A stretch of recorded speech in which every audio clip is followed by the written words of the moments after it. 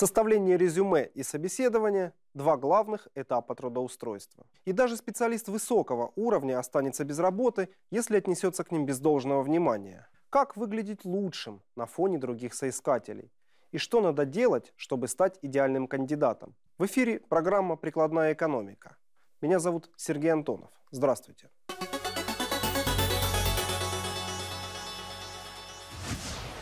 Первое, о чем надо позаботиться при поиске работы – резюме. Именно ваш рассказ о себе должен выделиться среди прочих. Лаконичное перечисление предыдущих мест работы может показаться нанимателю недостаточным, а пространные рассуждения о собственной исключительности, наоборот, избыточны. Поэтому, составляя резюме, надо понимать, чего ждет работодатель строим резюме в хронологическом порядке, начиная с, после, э, с последнего места работы. А если работник, очень часто бывает, что он меняет место работы, да, а, мы обращаем внимание, э, если опыт работы менее года, и это не положительная тенденция для нас.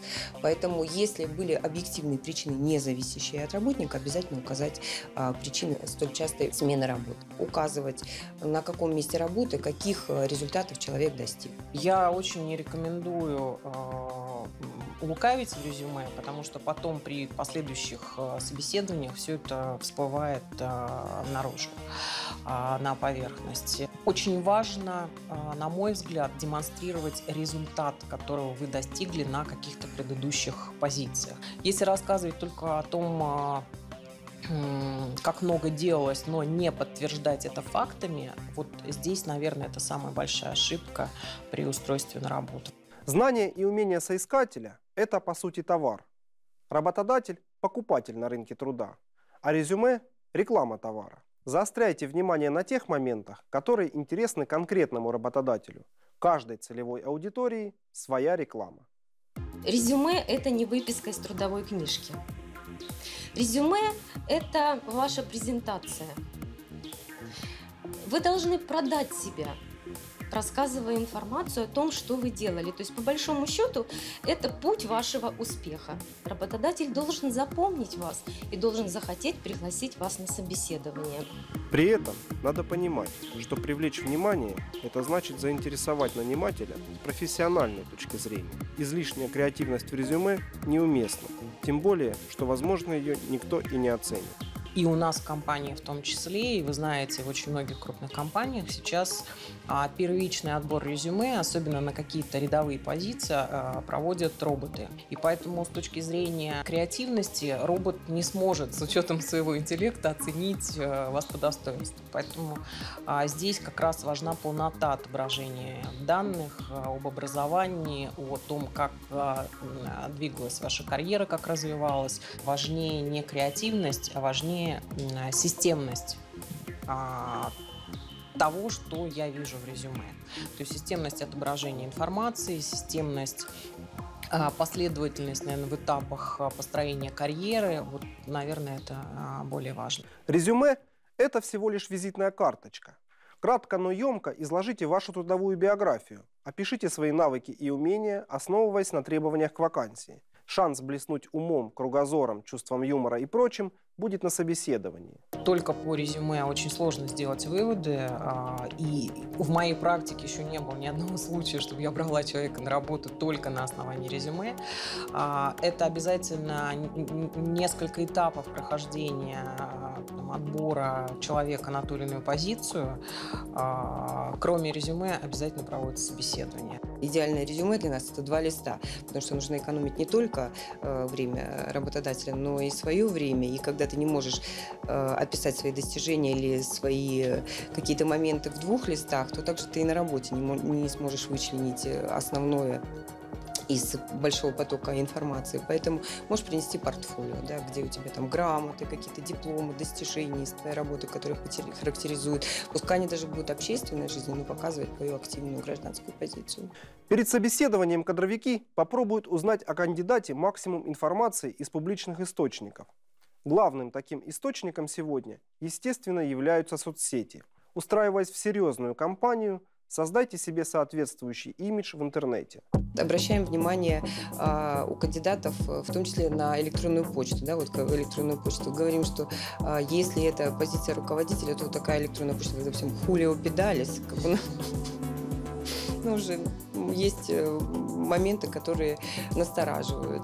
Вот. А, соцсети обязательно, да, говорим, что смотрим а, публичные источники, и поэтому, уважаемые кандидаты, если хотите произвести положительное впечатление на работодателя, то обязательно ну, в соцсетях никаких там не полуобнаженных да, а, фотографий. Когда мы ищем работу, то забываем всегда про свою страничку в соцсетях. То есть у нас может быть очень красивое резюме, но наша страничка в соцсети ему не соответствует.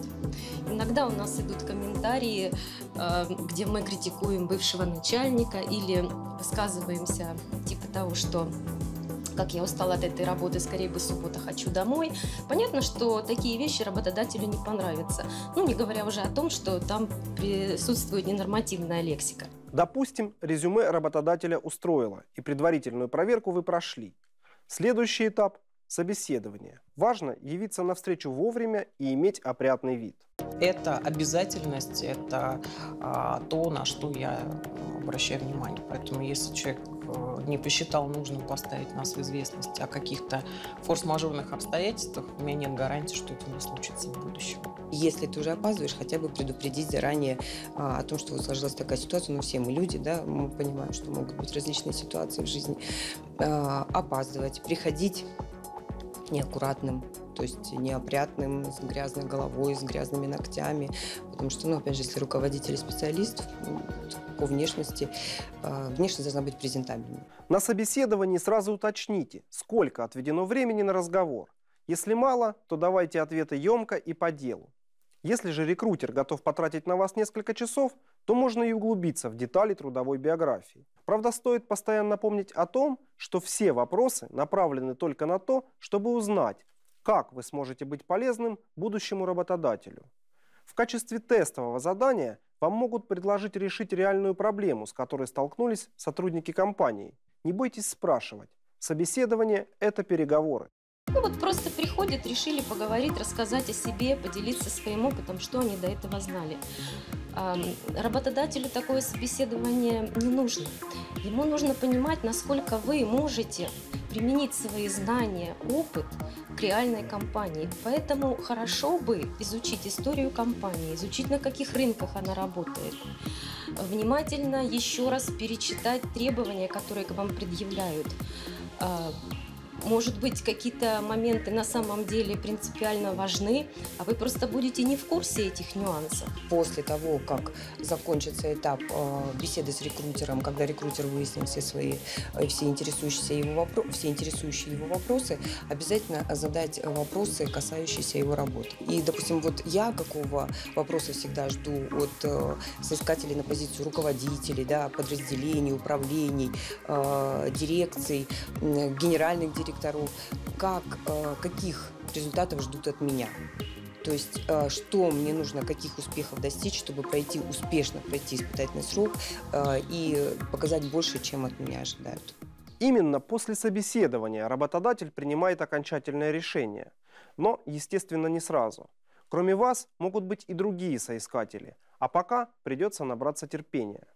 Некоторые работодатели любят сообщать результат только если он положительный. Поэтому будет не лишним а, позвонить через несколько дней после собеседования и уточнить. Если же вам работодатель точно сказал, что вам перезвонят через несколько дней, нужно еще посоветоваться с другими сотрудниками, чтобы принять решение, значит, вам нужно просто дождаться этих несколько дней. Ну и самое главное, если вы не получили пока еще четкого ответа, что вас взяли на работу, не прекращайте поиски. Итак, как же быстро найти работу? Опишите в резюме свой карьерный путь. Упомяните, каких результатов удалось добиться. Не придумывайте лишних заслуг, но и не скромничайте. Рассказывая о себе, ориентируйтесь на вакансию работодателя. Подготовьтесь к собеседованию, узнав побольше о компании, в которой предстоит работать не опаздывайте, выглядите опрятно. Отвечайте по делу, но и не стесняйтесь задавать вопросы. Если ваша квалификация не вызовет у рекрутера сомнений, Вакансия ваша. Это была программа «Прикладная экономика». Меня зовут Сергей Антонов.